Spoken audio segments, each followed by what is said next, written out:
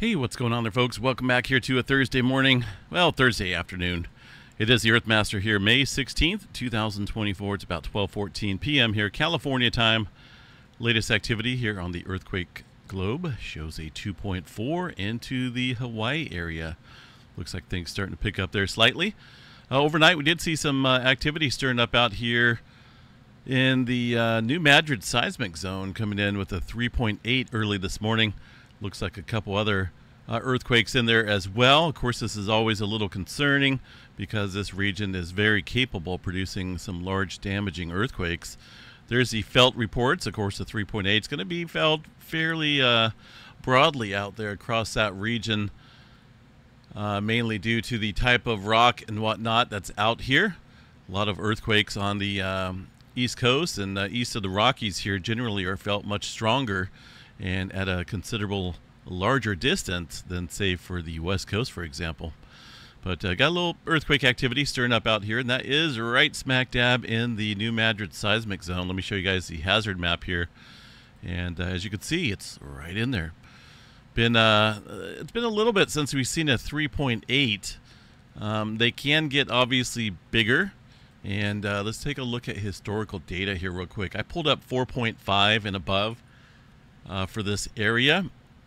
Now the 4.5, the well at least comparable earthquake, the last quake we seen was back in 2011 for a 4.7, and as you can see, they uh, 2011. I mean, it's been over 10 years now. It does look like we should at least see one earthquake of that magnitude here soon. Uh, and again, though, if you look back here at a important date in history, Back in 1811, 1812, they've seen a series of large earthquakes out here. Started with a 7.5 uh, back in 1811, December. A couple hours later, 6.3. A few hours after that, a 7.0. When you see this type of series of events here, it normally means that something bigger is coming. Uh, and then another 6.3 a few hours after that. Next day was a 6.1 and uh, it was about a month or so, almost month and a half later, that we've seen a 7.3 and a 7.5. So definitely a good series of earthquakes out here. That, uh, well, if that were to happen today, there'd be quite a bit of considerable damage taking place with the uh, highly populated region and the infrastructure that's out here now in place. We've grown a lot.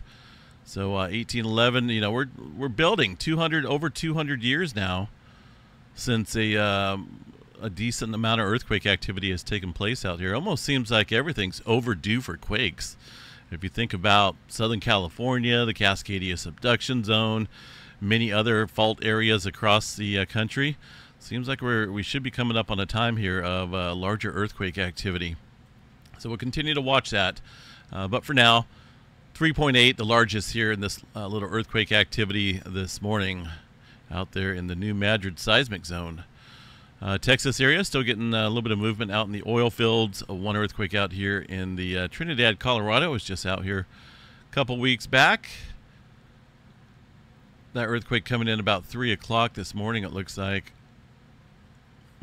Roughly uh, a little bit later, uh, a couple hours following the movement here in the New Madrid seismic zone. So it does look like things were strained out here across this area around that time. Uh, Southern California, not a, not too much going on here. There's a little bit of earthquake activity here from yesterday and today, just off the San, uh, San Andreas Fault, the southern branch here. But aside from that, um, you know, any any day out there is going to see this amount of earthquake activity, and there's really not a lot of big earthquake activity. It's all microquake movement. In fact, the largest one here is going to show a 2.6 on the San Jacinto Fault zone there near Borrego Springs. Further up north into Northern California, uh, Bay Area, fairly quiet right now into the Cascadia subduction zone. Of course, this is the area that's seen a four pointer here recently. 1.8 and a 1.6 down there into the southern end of the Cascadia, 25 kilometers deep here, indicating that's a subduction zone earthquake. Pacific Northwest, relatively quiet, aside from some very small microquakes. Yellowstone, Got uh, looks like a handful of smaller quakes there from yesterday, so let's double check that real quick.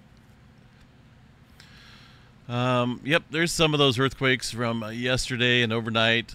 A handful of smaller quakes there. It does look like the USGS is listing them. This is some type of wind event stirring up out here again today. Looks like it's right in the middle of it. Uh, let me just verify this with the windy map. And we're going to check out the wind gust.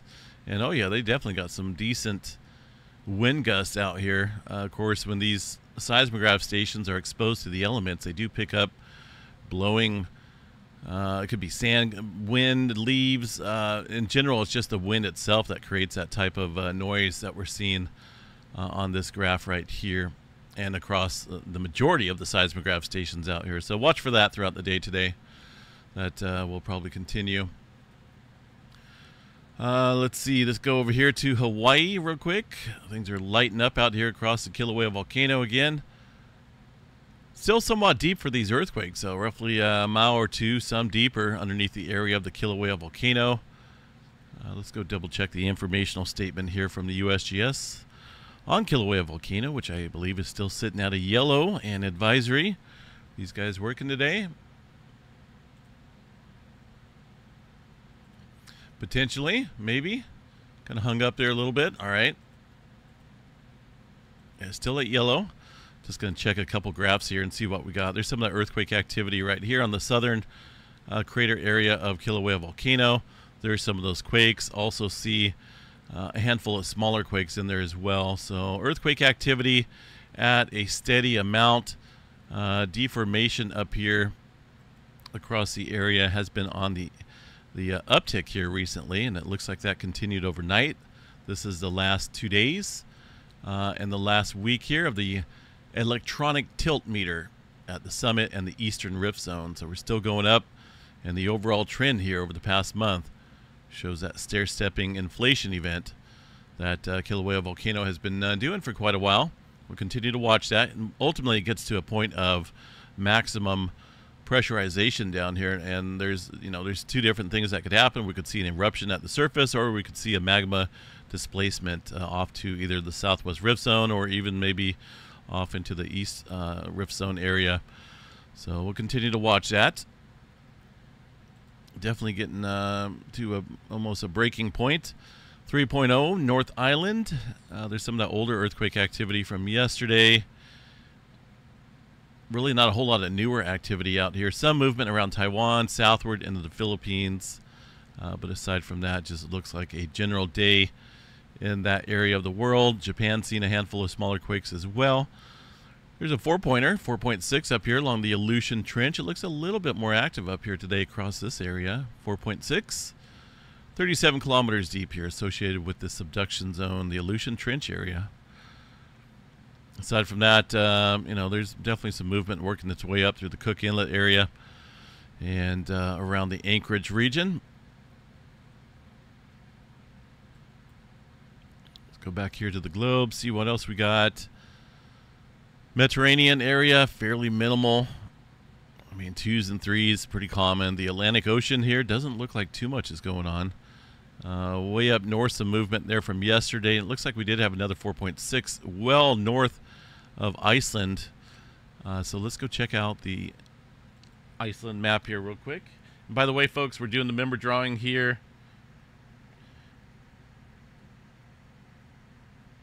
In uh, a couple hours. We're going to do that at 3 o'clock here Pacific time, so it's 1222 right now. Um, yeah, I didn't get a chance to do it yesterday. I was super swamped, but we'll definitely get it taken care of today here at 3 o'clock. Uh, earthquake activity shows about 59 earthquakes here in the last 12 hours. All magnitudes brings in those very, very small unfelt earthquakes as well, uh, which are sometimes hard to detect, but these guys are uh, picking up on them. Noticing, uh, you know, still some activity around the Grindavik area and more so off to the southeast area of this town. We'll continue to watch that because things are getting quite inflated underneath this area in just a matter of time uh, before we do see another fissure event take place here. The latest update from the Icelandic Met Office put out today, um, just kind of chatting about the magma accumulation underneath the area, remains at a stable rate. About 16 million cubic meters of magma have been added to the chamber here. So the uh, Probability of a new magma flow and another eruption in the coming days is quite high. Uh, the key to watching this is where elevated earthquake activity is going to take place. The eruption warning may be very short, and most of the time we get about a 30 minute window. Uh, here's our current state of inflation. Look at that. We're pretty much above all other levels here. So this is going to be, yeah, this is going to be in the red right here, the newest one. These are all levels of magma accumulation there uh, prior to an eruption in the green star, yellow star, uh, orange star, and so on. We're not quite up to this blue one here. The blue one was from um, the first one that kicked it off. Is it the first one or second one? It looks like the first one. No, that's the second one because there's the first eruption there uh, last year in November and uh, December of last year. So things are obviously well inflated, and it's just again, it's just a matter of time here before things break through to the surface. Uh, South America region, a handful of smaller quakes out here. Looks like the latest of 5.2 from yesterday, so not a whole lot of newer quake activity. There's some older new uh, new quakes there, but uh, in the white circles, a little clustering going on there.